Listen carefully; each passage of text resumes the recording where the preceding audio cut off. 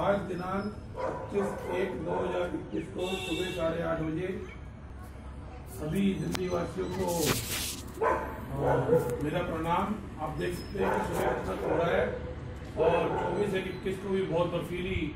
ठंड थी और धूप भी नहीं निकली हुई थी। आपके सामने देख सकते हो। और मैं सुबह सुबह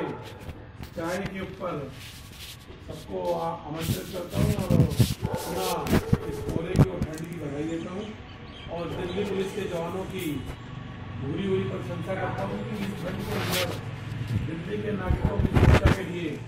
वो लोग ड्यूटी पर तैनात हैं और इसी के साथ आज की इस बात का मैं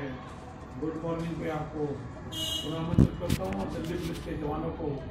और अन्य जो फोर्सेज छब्बीस जनवरी के अरेंजमेंट पे लगे हुए उनको भी मैं बधाई देता हूँ और उनका धन्यवाद करता हूँ कि देश की सुरक्षा के लिए, देश की आन बान शान के लिए वो इतनी ठंड भरी इस मौसम के अंदर अपनी ड्यूटी पर तैनात है। पुनः पुनः बहुत बहुत धन्यवाद।